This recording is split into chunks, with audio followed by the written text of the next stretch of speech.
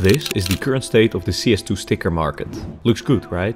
But why exactly are we seeing these spikes? And how can we capitalize on this? In this video we'll go over the secret application data behind the stickers and I'll end the video with my strategy to turn this into a profitable investment. Let's start by going over the most recent sticker collection. Paris. As we can see by this index, the overall prices for Paris have seen some good gains. Taking a look at their applications, we can immediately see why. An incredible amount of new Paris crafts has been made in the last couple of weeks. For some stickers, we even see an increase in crafts of over 20% in just the last month. This is an incredible amount. But what caused this? From images over on various social media, I think we can deduct that this spike in crafts was mostly caused by the new update.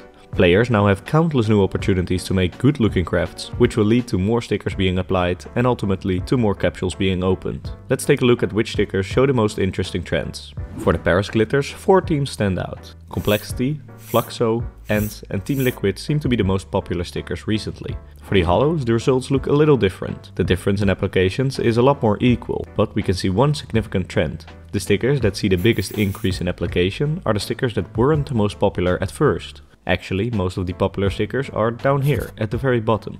This doesn't mean that these stickers have now fallen off, but it does mean that the recent update has had a lot less of an impact on their overall performance. For short-term gains, I think the top applied would be a good choice. But for the long term you'd need to look at the total applications rather than just the newly crafted.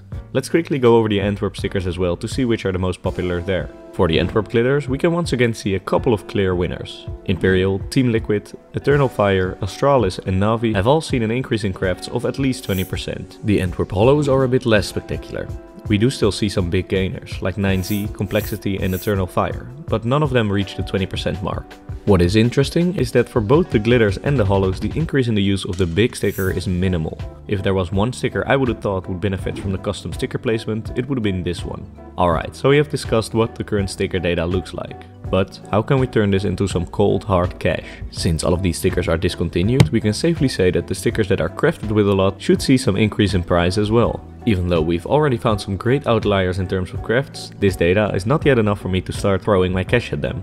I will be tracking the use of these stickers over the next couple of weeks to see exactly how they move. Then, during the sale of the upcoming Copenhagen Major stickers, I'll be buying into the most popular Antwerp and Paris holos. Make sure you subscribe to the channel if you want to stay up to date on exactly how these stickers move in the next couple of weeks. For now, that's all I have to say.